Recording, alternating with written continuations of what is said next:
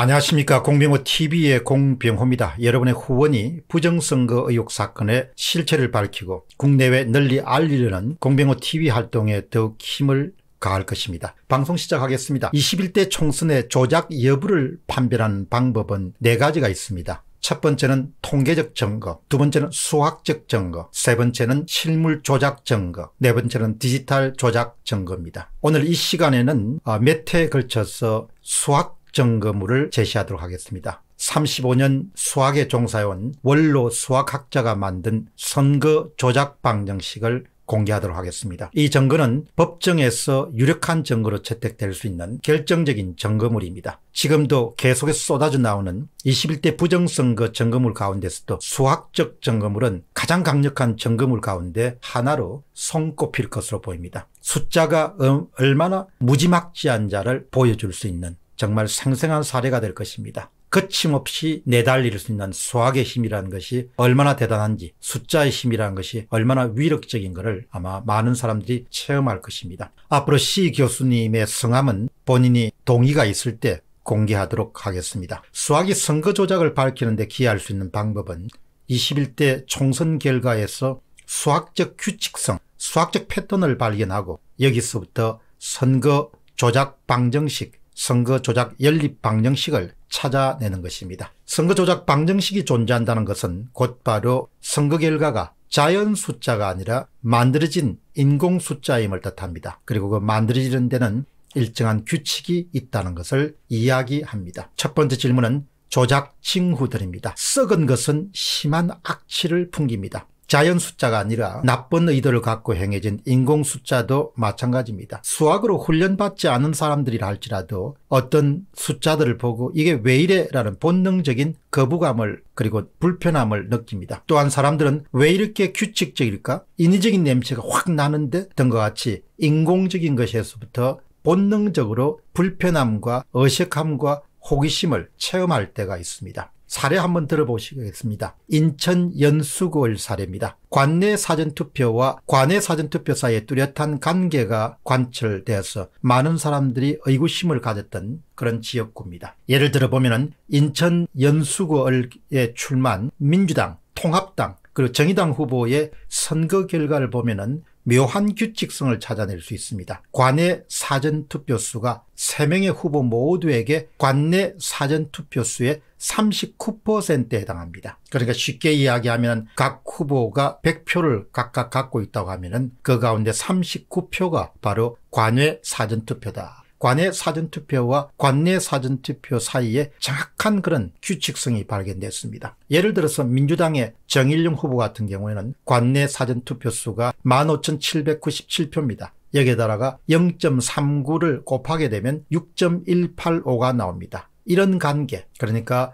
민경욱 후보나 이정미 후보나 간에 각자가 얻은 관내 사전투표수에다가 일정한 상수인 0.39, 39%를 곱하게 되면 정확하게 관내 사전투표수를 얻을 수 있다는 것입니다. 인천 연수걸 지역구 투표 결과를 보면 정말 신기하다, 이상하다, 괴상하다 그런 느낌뿐만 아니고 심정뿐만 아니고 물정을 지게 됩니다. 다음 두 번째 사례입니다. 관내 사전투표수와 관내 사전투표수의 관계입니다. 21대 총선에서는 관내 투표수가 관내 투표수의 일정 상수, 일정 비율로 나타난 지역구가 부쩍 많습니다. 다만 이 상수가 약간씩 차이가 나게 됩니다. 성남시 분당구 갑 같은 경우는 각 후보의 관외 득표수는 관내 득표수의 0.28을 곱하면 되고 분당구 을 같은 경우는 관내 사전투표수에다가 0.29를 곱하면 되고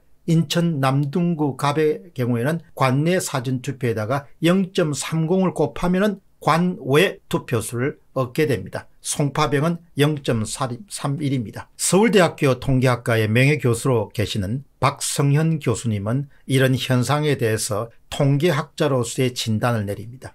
일부 지역구의 사전투표에서 관외 투표와 관내 투표 결과를 보면 놀라운 상수 관계를 발견할 수 있다. 즉 통계적으로 보면 상관관계를 나타내는 개수가 1.0으로 득표율이 100% 동일하다는 것이다. 사전 득표율이 관내 사전 득표율과 물론 유사하게 나올 수 있다. 그러나 일정한 상수가 존재해서 관외와 관내 사이에 상관관계가 1, 100%에 가깝게 나오는 것은 통계적으로 흔한 일은 아니다. 아주 보수적으로 이야기하신 겁니다. 통계적으로 흔한 일은 아니다. 이렇게 통계학자들은 이야기하지만 세상 사람들은 일어나기가 거의 불가능한 일이다. 그렇게 이야기할 수 있는 것이죠. 다음 사례는 관내와 관내 일치입니다. 전국 253개 지역구 가운데서도 민주당과 통합당의 관내 사전투표수와 관내 사전투표수를 비교할 때 투표율이 99%가 일치하는 지역구가 43개나 됩니다. 사람들은 묻습니다. 마치 누가 일부러 맞추어 놓은 듯한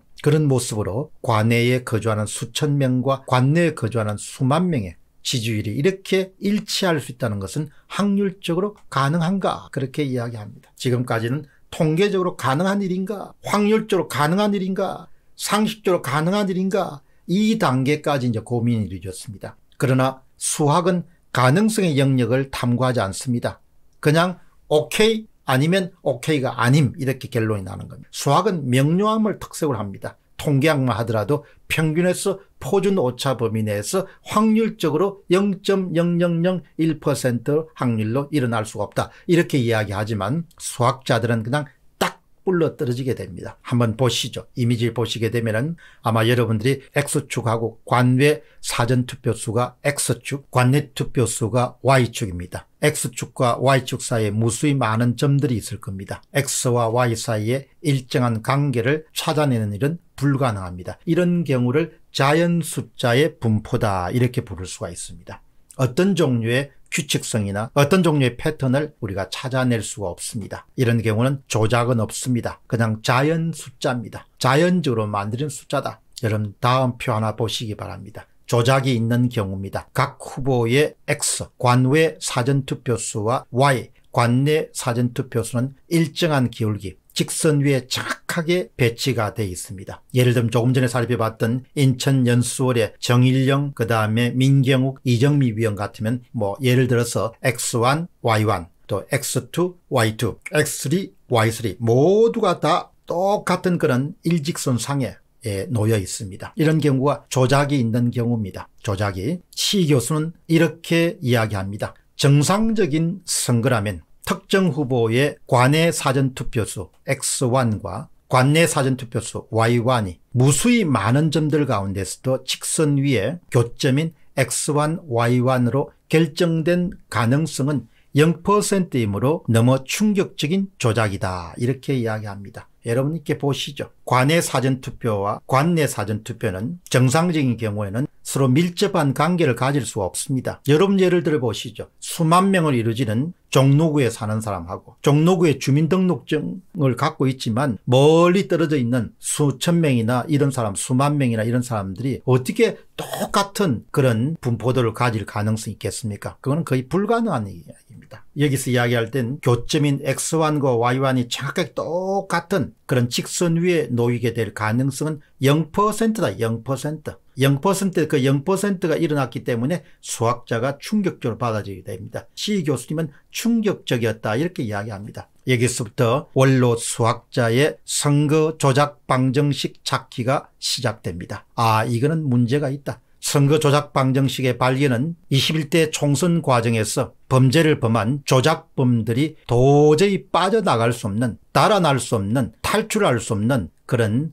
올가미를 꽉 째는 그런 결과를 낳게 될 것입니다. 수학은 0.00001%에 크게 논의하지 않습니다. 통계학은 아주 확실한 세계더라도 일어나지 않을 확률이 0.00001%다 이렇게 하면 은 판사나 검사나 간에 아 그렇게 해도 0.0000001% 정도는 일어나지 않을 확률도 있지 않습니까 이렇게 이야기합니다. 그러나 수학은 일체 그게 없습니다. 그냥 기면 기고 아니면 아닙니다. 선거 조작 방정식의 발견은 범죄자들이 조작범들이 도저히 빠져나갈 수 없는 그런 올가미를 조이는 것과 똑같습니다. 도저히 빠져나갈 수 없도록 만들어버릴 것입니다. 바로 수학이 여러분들에게 이번 사건이 그렇게 깔끔하게 정리가 될 수밖에 없고 은폐할 수 없다는 사실을 여러분들에게 한 번 더 확신을 줄 것입니다. 오늘은 몇 회에 걸쳐서 계속해서 여러분들에게 이 시 교수님 시 교수님의 연구 결과물을 정리해서 전달 드릴 테니까 여러분 꼭 관심 있게 봐주시면 고맙겠습니다. 공병호 TV의 공병호였습니다. 감사합니다. 그들은 어떻게 선거를 조작하였을까? 좀 더 구체적으로 그들은 어떻게 사전투표를 조작했을까? 선거 조작 공식은 어떻게 확인할 수 있을까? 그들이 조작했음을 입증할 수 있는 방법을 수학자들은 제공할 수 있을까? 비밀은 바로 목표 득표수와 관외 사전투표수 그리고 관내 사전투표수 세 가지 변수에 답이 들어 있습니다. 첫 번째 질문은 선거 조작 공식입니다. 달리 표현하면 선거 조작 연립 방정식입니다. 선거 조작 연립 방정식. 복잡한 도출 과정은 나중에 공개하기로 하겠습니다. 그러나 이해의 도를 좀 더 간략하게 좀 더 빠른 시간에 하기 위해서 일단 시 교수님이 심혈을 기울여서 발견한 선거 조작 연립 방정식의 결론 부분을 간단하게 여러분에게 제공하겠습니다. 여러분 이 연립 방정식이 바로 선거 조작 연립 방정식입니다. 두 개의 방정식으로 구성되어 있습니다. 따라서 연립 방정식이다. 여러분 여기에서 X나 Y가 무엇을 뜻하는가를 간단하게 한번 살펴보겠습니다. 대문자 X는 관외 총투표수입니다. 대문자 Y는 관내 총투표수입니다. 대문자 X와 대문자 Y를 합치게 되면 사전선거 총투표수가 나옵니다. 다음은 소문자로 넘어가겠습니다. 소문자 X는 특정 후보의 관외 투표수입니다. 그러니까 X1 이렇게 하면 후보 1번의 관외 투표수입니다. X2 이렇게 하면 후보 2번의 관외 투표수입니다. 소문자 Y는 특정 후보의 관내 투표수입니다. 그렇기 때문에 소문자 X와 소문자 Y를 더하게 되면 특정 후보의 사전선거 총득표 수가 됩니다. 다음은 그리스어 로우입니다. 로. 로우는 목표 득표율입니다. 타겟 득표율입니다. 이것은 바로 대문자 Y분의 소문자 Y 혹은 대문자 X분의 소문자 X로 표시가 될 수 있습니다. 그러니까 사전 총 득표수 예를 들면 Y 큰 글자 Y라는 것은 기본적으로 총 득표수를 뜻하기 때문에 관내 총 득표수에서 후보 1번이 Y1 얼마나 득표해야 될 것인가 이런 부분을 나타내는 목표 득표율입니다. 그 다음에 P는 득표율입니다. 분모는 대문자 X와 대문자 Y 그리고 분자는 소문자 X와 소문자 Y입니다. 사전선거의 총투표수 가운데서 특정 후보가 받은 관외 총투표수와 관내 총투표수를 합한 것이 바로 득표율이다 이렇게 볼 수 있습니다. 이 두 개의 연립 방정식을 이용해 가지고 역으로 얼마든지 선거를 조작할 수 있는 그런 결과를 우리가 얻을 수가 있습니다. 다음 질문은 선거 조작 연립 방정식의 실행법입니다. 우선은 당선을 첫 단계는 당선을 위해서 필요한 목표 득표율 로를 그리스어 로를 결정합니다.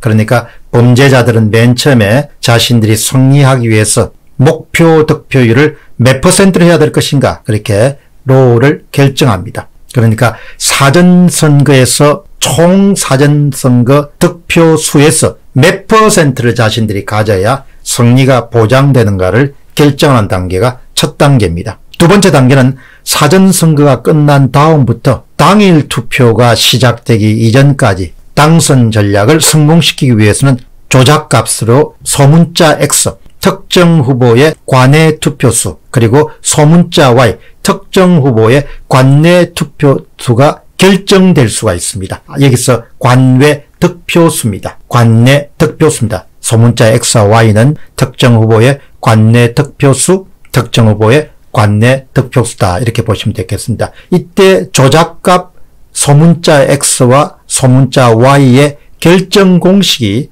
바로 여러분들에게 오늘 소개해드린 선거 조작 공식 혹은 선거 조작 연립 방정식입니다. 선거 조작 연립 방정식을 한 번 더 살펴보면은 사전 선거가 끝나게 되면은 우리가 가질 수 있는 것은 조작하는 사람들이 손에 쥐을 수 있는 정보는 대문자 X입니다. 관내 총 투표수, 대문자 Y도 정보를 가질 수 있습니다.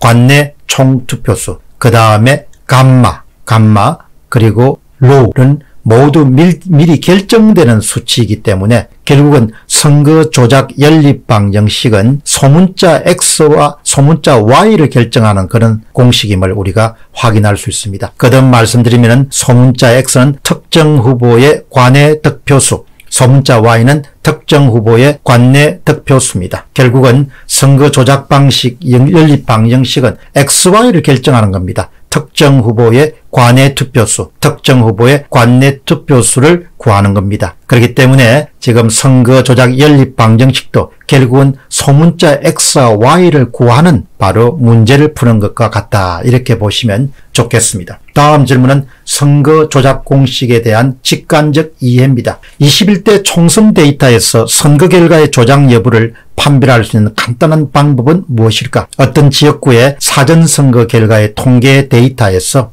소문자 Y를 소문자 X, 소문자 X를 소문자 Y로 나눴을 때 그것은 다르게 이야기하면 소문자 X분의 소문자 Y는 곧바로 사전관의 투표수, 득표수입니다. 사전관외 득표수를 사전관내 득표수로 나눈 겁니다. 그것은 또 다르게 이야기하면 감마다 이렇게 표시할 수 있겠습니다. 그 어떤 지역구의 어, 선거 데이터가 감마를 만족시키고 있음이 확인되면 그때 소문자 X와 Y의 수치는 당선을 위한 득표율 로우를 미리 정해놓고 구해진 일종의 조작값에 해당한다. 그렇게 볼 수 있겠습니다. 여러분 이것을 쉽게 이제 한 번 더 풀어 쓰면은 1번 후보의 사전 관외 투표수 X1을 또 이 1번 후보의 Y1입니다. 관내 득표수로 이렇게 나누게 되는데 그 값이 모두 다 일치하는 감마와 일치하게 되면은 그것은 곧바로 조작값이다 이렇게 부를 수 있는 거죠.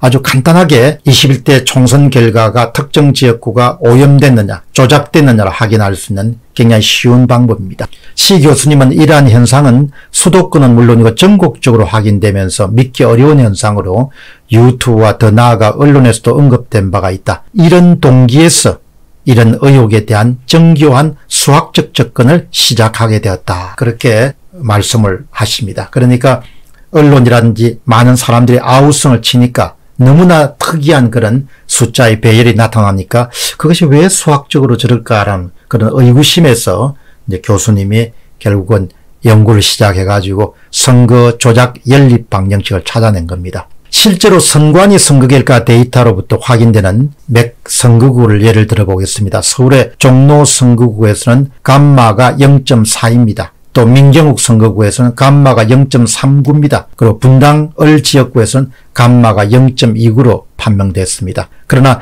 대구의 김부겸과 주호영 선거구에서는 감마 값과 그 다음에 아, 소문자 X와 소문자 Y를 나눈 값이 다릅니다. 소문자 X와 소문자 Y를 나눈 대구 지역 같은 경우 수성 을인가 그렇죠. 0.41이지만 감마는 0.38이기 때문에 X와 소문자 X와 Y 값이 조작 값이 아닐 가능성이 높다 이렇게 판단한 것이죠. 결론을 짓도록 하겠습니다. 시 교수님의 주장은 이 글에서 제시한 일종의 조작 연립 방정식은 사전선거가 부정이라는 의혹을 입증하는 강력한 수학적 공식이라고 판단한다. 강력한 수학적 공식이다. 사전선거가 조작되었다는 것을 입증할 수 있는 수학적 증거물로 법정 증거물로 활용할 수 있다는 겁니다. 그 이유는 선거관리위원회에서 공포한 선거 결과의 데이터에서 이 공식이 조작에 사용되고 있음을 많은 여러 선거구에서 실제로 입증할 수 있기 때문이다. 자, 결론 파트입니다. 결론적으로 사전선거가 인위적으로 조작되었음이 수학적으로 입증된 셈이다. 남은 문제는 조작된 관내 득표수와 또 관내 득표수가 실제 투표함의 투표수와 과연 일치하는가 일치한다면 어떤 출입이 개입된지를 밝히는 문제가 해결돼야 될 것으로 판단한다. 참 여러분들에게서 아주 간단한 것은 어떻든 이 좀 도출하는 과정에서는 좀 복잡합니다만 여러분들이 간단하게 말씀드렸던 두 개의 연립 방정 즉 선거 조작 공식 방식을 우리가 좀 더 잘 이해하면은 그냥 통계학적 증거뿐만 아니고 수학적 증거물로서도 이번 선거 특히 사전투표가 상당히 많이 조작되었다는 것을 수학적으로 입증할 수 있는 그런 시간을 가졌습니다. 공병호 TV의 공병호였습니다. 감사합니다. 중앙선거관리위원회는 선거가 끝나자마자 자신있게 21대 총선 결과 통계를 발표했습니다. 그런데 그 다음부터 예리한 사람들 중심으로 해서 와글와글 그리기 시작했습니다. 그들은 한 목소리로 총선 결과 통계치가 이상합니다라고 외쳤습니다. 중앙선거관리위원회 관계자는 무슨 쓸데없는 소리를 하냐고 이렇게 타박합니다. 여기에 따라 야당까지 나서서 언물은 펼치지 말라 이렇게 질타하기도 합니다. 21대 총선 결과 통계는 정직한 숫자인가 아니면 일각에서 거론되고 있는 것처럼 조작된 숫자인가 숫자의 정직성 혹은 조작성을 판단할 수 있는 방법을 조작 판별 관계식 조작 판별 관계식이란 이름으로 시 교수님이 제공합니다. 첫 번째 질문은 선거 조작 판별식입니다. 여러분이 어느 특정 선거구의 21대 총선 결과가 조작되었는지 아닌지를 판별하려면 우선 다음과 같은 표를 참조하시기 바랍니다. 표를 보시면 가장 위쪽에는 1번 후보, 2번 후보, 3번 후보가 있습니다. 한 칸을 내려오시면 후보별 관외 사전 득표 수가 기록되어 있습니다. 이들이 각각 얻은 관외 사전 득표 수가 X1, X2, X3으로 수치가 기록되어 있습니다. 다음에 또 한 칸을 내려오시면 관내 사전 득표수가 기록되어 있습니다. 이것은 각각 Y1, Y2, Y3 소문자로 기록되어 있습니다. 마지막은 대문자입니다만 마지막 칸은 각각의 후보가 얻은 사전 투표수, 관내 득표수와 관외 득표수가 합친 것이 기록되어 있습니다. 맨 마지막 왼쪽으로부터 마지막 칸에 있는 대문자 X와 대문자 Y는 지역군 내 관외 사전 총투표자 수와 관내 사전 총투표자 수를 말합니다. 달리 이야기하면 소문자 X와 Y는 특정 후보가 관내 사전 득표수고 또 관내 사전 득표수를 이야기합니다. X는 관내 사전 득표수 특정 후보의 소문자 Y는 관외 사전 득표수를 이야기합니다. 다음 그래프를 한번 보시기 바랍니다. 여러분이 조작 여부를 판별 하기를 원하시면 우선적으로 I번 후보의 관외 득표수인 소문자 XI와 또 관내 득표수인 소문자 YI 값의 비율이 아래의 관계식을 만족시키는지를 우선적으로 확인해야 됩니다. 쉽게 이야기하면 1번 후보의 관외 득표수를 1번 후보의 관내 득표수로 나눈 값과 2번 후보의 관내 득표수를 2번 후보의 관내 득표수로 나눈 값과 3번 후보의 관내 득표수와 3번 후보의 관내 득표수를 나눈 세 개의 값이 모두 다 일치한다면 모두가 일치한다면 그런 경우에는 바로 조작값이다 이렇게 결론 내려도 괜찮습니다. 만약에 선거에 참여한 세 후보의 값이 모두 다 일치한다면 각 후보가 사전선거에서 얻은 관외 득표수와 관내 득표수 그러니까 소문자 XI와 YI는 모두 인위적인 조작값들이다 이렇게 볼 수 있습니다. 굉장히 중요한 조작 여부를 판별할 수 있는 기준을 시 교수님이 제공했습니다. 일치하지 않는 경우가 발생하면 더 어려운 단계이기 때문에 앞으로 추가적인 그런 연구를 통해서 후속 논문에서 새로운 사실을 밝히겠다. 그렇게 시 교수는 이야기하고 있습니다. 따라 지금 우리가 말씀드렸던 X 소문자 XI를 소문자 YI로 나누는 거. 이 꼴은 대문자 X를 또 대문자 Y로 나눈 이것을 우리가 흔히 이야기할 때 조작 판별 관계식 혹은 조작 판별 공식이다 이렇게 부를 수가 있습니다. 이와 같은 결론을 중심으로 해서 시 교수는 이렇게 주장합니다. CLM 3번, 정리 3번을 이렇게 명쾌하게 정리해서 우리에게 어, 제시합니다. 정리 3. 도표에서 특정 I번 후보자의 관외 득표수와 관내 득표수인 소문자 XI와 소문자 YI가 관계식인 아래를 A를 만족시킨다면 그러니까 소문자 XI를 소문자 YI로 나누고 그 값이 대문자 X분의 Y를 나누진 이것을 이 조건을 만족시킨다면 지금 우리가 보는 어, I 후보의 관내 사전 득표수와 또 I 후보의 관내 사전 득표수는 모두 다 조작값들이다. 이런 이유로 관계식 A를 우리가 흔히 하게할 때 I 후보의 관내 득표수와 관내 득표수가 조작값인지를 여부를 판별하는 판별 관계식이다 이렇게 부릅니다. 여러분 그러니까 기본적으로 미래통합당 후보가 사전투표에서 얻은 관외 득표수를 관내 득표수로 나눈 값하고 그 다음에 정의당 후보의 관내 득표수를 관내 득표수로 나눈 값하고 더불어민주당의 후보의 관내 득표수를 관내 득표수로 나눈 값하고 이것이 모두 다 일치되면 그것은 무조건 조작값이다 이렇게 볼 수 있겠습니다. 가장 전형적인 경우가 바로 민경욱 후보가 출마했던 인천 연수월 사례입니다. 다음 질문은 검정 사례입니다. 지금 여러분이 보시는 도표는 인천 연수월 사례입니다. 이 인천 연수월 사례를 보시게 되면은 이 인천 연수월 사례는 판별 관계식을 이용해서 보면은 각 후보에 대해서 관내 사전 득표수를 관내 사전 득표수로 딱 나누게 되면 놀랍게도 39% 0.39라는 상수가 등장하게 됩니다. 세 가지가 다 같습니다. 정영일 후보, 민경욱 후보, 이정미 후보가 0.39란 상수가 같습니다. 따라서 판별 관계식을 이용하면 인천 연수월의 사전투표는 모두 다, 다 조작값들이다 이렇게 결론 내릴 수 있습니다. 현재까지 알려진 바로는 추가적인 연구가 필요하겠습니다만 전국 지역구 가운데서 43군데가 연, 인천 연수월과 같이 각 후보의 관외 득표수의 수를 관내 득표수로 나눈 값이 다 일치합니다.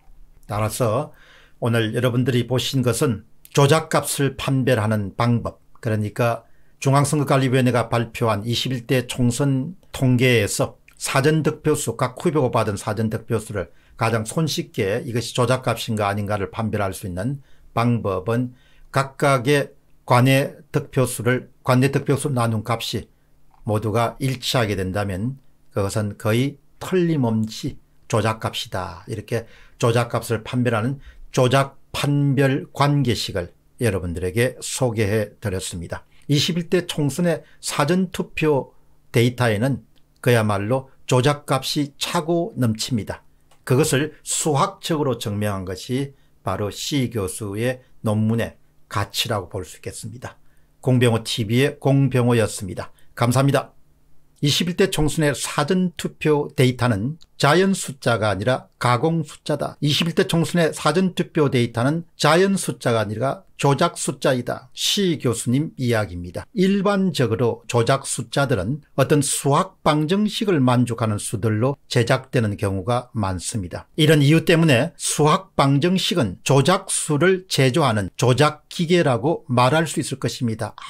아주 중요합니다. 일반적으로 조작수들은 어떤 수학 방정식을 만족하는 수들로 제작되는 경우가 많습니다. 이런 이유 때문에 수학 방정식은 조작수를 제조하는 만들어내는 조작기계라고 말할 수 있습니다. 한마디로 수학자의 눈에는 21대 총선의 사전투표 통계는 조작기계로 제조된 숫자들로 가득 차 있습니다. 여러분 기억하시기 바랍니다. 대한민국에서 2020년도 4.15 총선에서 사전 투표에서 만들어낸 그 데이터와 통계라는 것은 조작 기계로 제조된 숫자들로 가득 차 있다는 겁니다. 아주 중요한 메시지입니다. 시 교수가 쓴 조작수의 개념을 이해하기 위한 세 가지 수학 실험을 여러분 소개해 드리겠습니다. 이 실험에 대한 그 글은 여러 차례에 걸쳐서 받았습니다만은 이것을 재구성해서 그냥 제가 인위적으로 그냥 설명을 드리기보다도 내용을 그대로 찬찬히 읽어주면서 간간히 저의 간단한 설명을 더하는 것이 여러분이 핵심을 파악하는 데 도움이 되겠습니다. 작위수,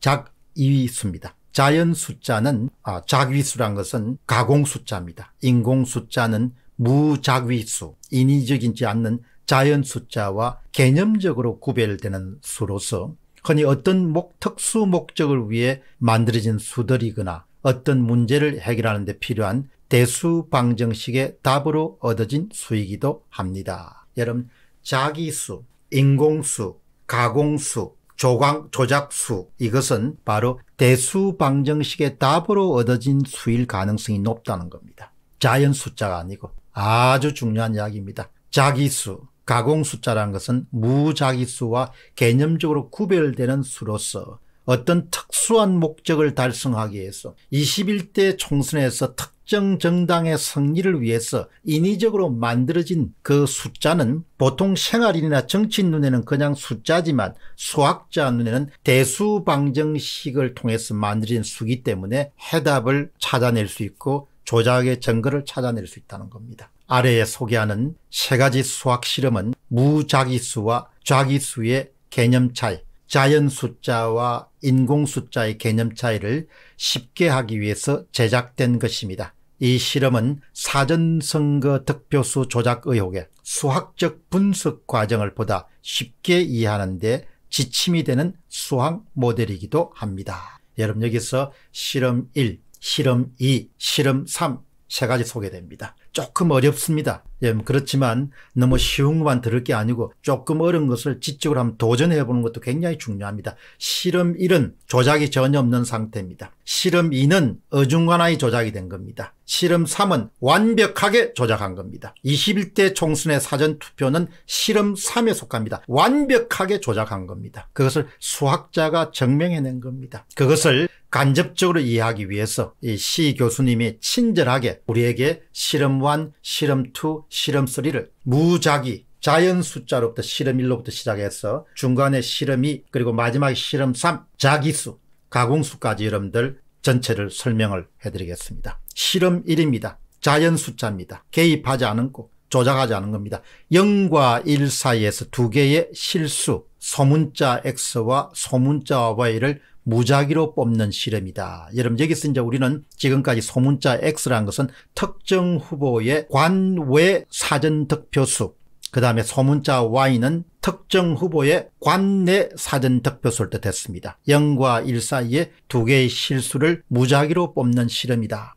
아무런 개입이 없는 겁니다. 여러분 이미지를 한번 보시기 바랍니다. 따라서 X, Y는 자유도가 degree of freedom이라고 합니다. 자유도가 각각 1인 수입니다. 이들 두 개의 수를 순서상 가로 열고 x와 y로 나타내면 길이가 1인 단위인 정사각형 내부의 한 점입니다. 따라서 실험 1은 단위 정사각형 내부에서 한 점을 뽑는 실험과 동일합니다. 여러분 이해가 좀 안 되더라도 얼추 이해되면 그냥 한두 번 정도 더 들으면 됩니다. 그러니까 실험 1이라는 것은 개입이 없는 상태이기 때문에 지금 말씀드린 것처럼 정사각형 내부에서 임의로 한 점을 선택하는 것과 같습니다. 그래서 개입이 없고 조작이 없기 때문에 분포도가 굉장히 많은 점을 자유롭게 찍을 수 있고 어떤 종류의 수학적 규칙성이나 패턴을 발견할 수 없습니다. 그것이 바로 실험 1입니다. 실험 1. 완전 개입이 없는 상태입니다. 20대 총선은 완전히 개입돼 없었습니다. 그러나 21대 총선은 바로 실험 1이 아니고 실험 2도 아니고 실험 3에 가깝다 이렇게 보시면 되겠습니다. 실험 2입니다. 실험 1은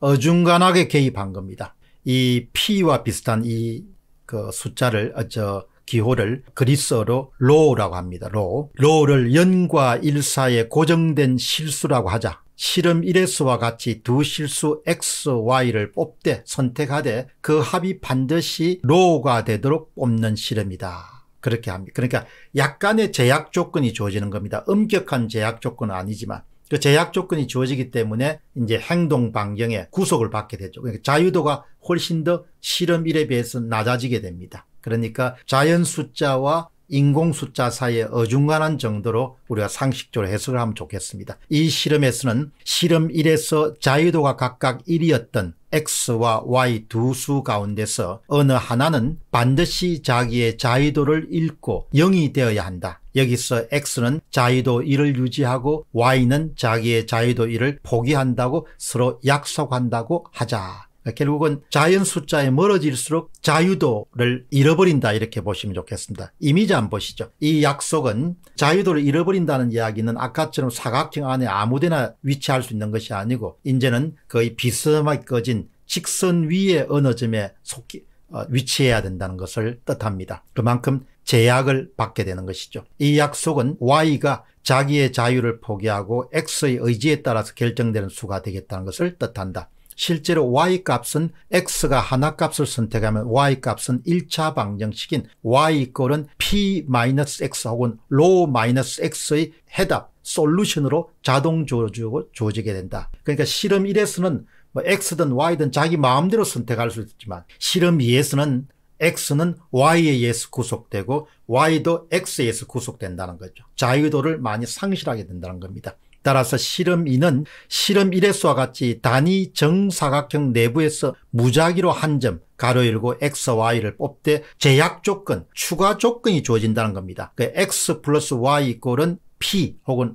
P를 만족하도록 뽑는 실험이다. 그러니까 어느 정도 이렇게 훈련을 좀 받으신 분들은 금세 이해를 하겠지만 일반인들은 이게 조금 이해하기가 쉽지 않지만 어떻든 제약 조건이 더해질수록 선택의 폭이 점점 점점 줄어든다는 것이죠. 그것이 바로 실험 2를 뜻하는 겁니다. 이 실험에서 X는 자유도 1을 유지함으로써 y는 자유도가 0인수가 되고 y의 값은 x의 변수의 값에 따라 결정되는 수이며 y꼴은 p-x의 값으로 결정된다. 그러니까 아주 쉽게 이야기하면 은 x가 자유도를 1로 가지면 y는 자유도가 0이 되는 것이죠. 또 y가 자유도를 1을 가지면 x는 자유도가 0이 되는 겁니다. 그러니까 이렇게 항상 마음대로 선택할 수 없다는 겁니다. 항상 사선, 줄을 끈 직선 위에 위치해야 된다는 거죠. 이렇게 결정된 x와 y의 순서상인 가로 열고 x, y는 좌표 평면에서의 직선 y 꼴은 x-p 위에 한 점이 돼야 된다. 아무데나 놓일 수 없고 반드시 사선 위에 한 점이 돼야 된다. 따라 실험 2는 직선 p-x 위에서 한 점을 하나의 점을 선택하는 실험과 동일하다는 거죠. 실험 1에서는 사각형 아, 안에 무조건 자기 마음대로 위치할 수 있지만 실험 2에서는 반드시 비스듬하게 끈 사선 p y 이꼴 x p라는 그 위위의 한 점을 선택할 수밖에 없다는 것. 자유도를 엄청나게 상실한다는 거죠. 실험 2S의 추가 조건 때문에 점 X와 Y를 뽑는 영역이 2차원 영역인 단위 정사각형에서 1차원 영역인 직선으로 대폭 축소되었다는 사실에 유의하면 추가 조건이 엄청난 외부의 힘임을 실감할 수 있다. 참 여러분들 실험 1에서는 사각형 안에 어디다 위치할 수 있다. 그러나 실험 위에는 엄청난 외부의 힘이 주어져 가지고 제약 조건이 주어 가지고 반드시 직선 위에서만 위치할 수 있다는 거예요. 그 2차원에서 선택할 수 있는 그런 영역이 1차원으로 한정돼 버린 겁니다. 실험 2에서의 P는 사전 선거에서 미리 설정한 후보자의 조작된 득표율을 해석하면 X와 Y는 조건 x 플러스 y 이꼴 p 하에서 나중에 결정되는 것으로 x는 사전선거 관내 득표율을 의미하고 y는 사전선거 관내 득표율을 해석된다. 여러분 이거 다시 한번 설명하겠습니다. 여기서 x라는 것은 특정 후보의 관외 사전 득표수입니다. Y는 특정 후보의 관내 사전득표수입니다. 실험 2에서는 X가 자유도를 크게 가지기 때문에 X가 X가 마음대로 선택하더라도 Y는 선택권이 전혀 없는 겁니다. 그러니까 X에게 특정 후보의 사전 관외 사전 득표 득표수나 득표율이 결정되면은 Y는 그게 종속돼서 선택권 없이 그냥 결정될 수밖에 없다는 겁니다. 만약 정상적인 사정선거라면 먼저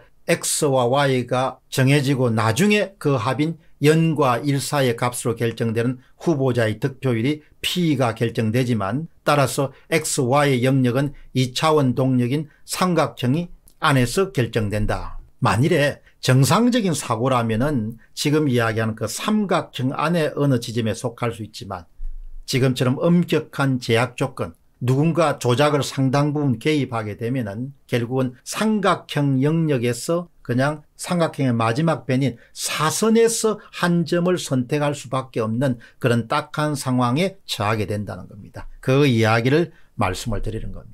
자 그런데 이것도 훨씬 외부의 압력이 많이 가해진 경우거든요. 그런데 21대 총선의 사전투표는 훨씬 더 강력한 조작이 행해진 경우이기 때문에 바로 실험 3에 해당합니다. 실험 3을 여러분 집중적으로 한번 들어보시게 실험 3은 아무런 자유가 없습니다. 그냥 정해진 데 그냥 가야 되는 겁니다. 아무런 자유도가 없습니다. 실수 실험 3입니다. 실수 감마 감마를 그 다음에 로, P하고 비쌉니다. 로와 다른 0과 1 사이에 고정된 수라고 하자. 감마와 그 다음에 로입니다. 감마, 로. 실험 ES와 같이 두 실수 XY를 뽑되 추가 조건이 주어진다. 여기서 추가 조건이라는 것은 Y를 소문자 Y를 소문자 X로 나눈 것 이꼴은 감마입니다. 이 감마라는 것은 특정 후보의 관외 사전 득표수를 관내 사전 득표수로 나눈 그 값이 상수입니다. 감마를 만족하도록 뽑는 실험입니다. 이런 추가적인 조건이 주어지게 되면 꼼짝마입니다. 바로 그것이 21대 총선의 사전투표 결과치입니다. 한번 들어보시죠. 자유가 전혀 없는 겁니다. 그냥 외부에서 완벽하게 조작을 해버린 겁니다. 이 실험에서는 실험 ES에서 자유도가 1인 X마저 소문자 X마저 자기의 자유도 1을 완전히 잃어버리고 두 수인 소문자 X와 소문자 Y 다시 한번 말씀드리겠습니다. 소문자 X는 특정 후보의 관외 득표수입니다. 소문자 Y는 특정 후보의 관내 득표수입니다. 이 두 개의 수가 모두 자유도가 0이 되어버린다.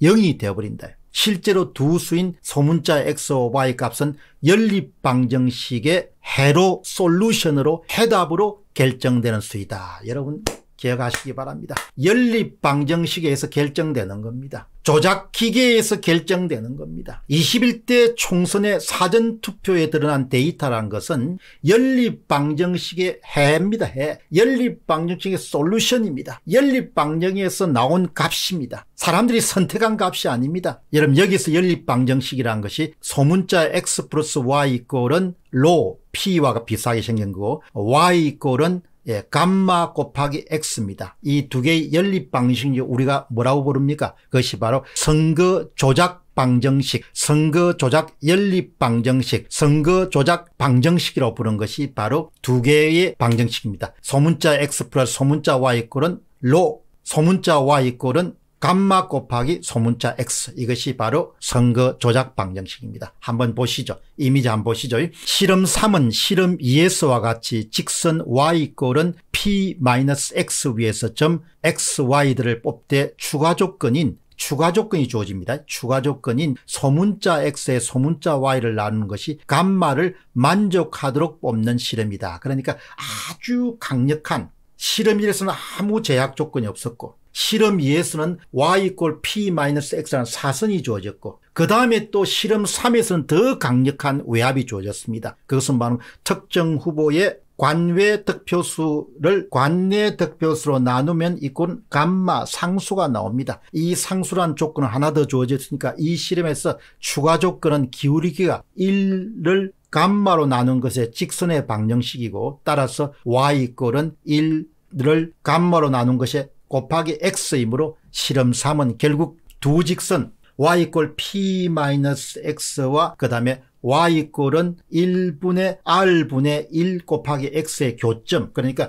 여기 이런 사선과 직선이 마주치는 교점에서 xy, x2가 결정될 수밖에 없다는 겁니다. 교점인 가로 열고 small x1, small x2를 뽑는 실험과 동일하다. 엄청난 조작이 주어졌다는 겁니다. 그 조작이라는 것은 엄청난 제약 조건이 주어졌다는 겁니다. 여러분 정말 멋있는 이야기죠. 이 실험에서 뽑은 가로 열고 소문자 X1과 소문자 Y1은 추가 조건 때문에 실험 2에서 점 가로 열고 소문자 XY를 뽑는 영역이 1차원 도형인 직선에서 0차원 조건이 한 점으로 한정됐습니다. 여러분 기억하시기 바랍니다. 처음에는 직사각 정사각형 안에서 선택할 수 있고 그 다음엔 직선 위에서 선택할 수 있고 이제는 직선도 아니고 그냥 한 점을 찍, 찍도록 할 그냥 강제당하는 겁니다. 0차원인 한 점 가로 열고 x1, y1으로 엄청나게 축소되어 버렸다. 추가 조건이 그만큼 강력한 외부 힘임을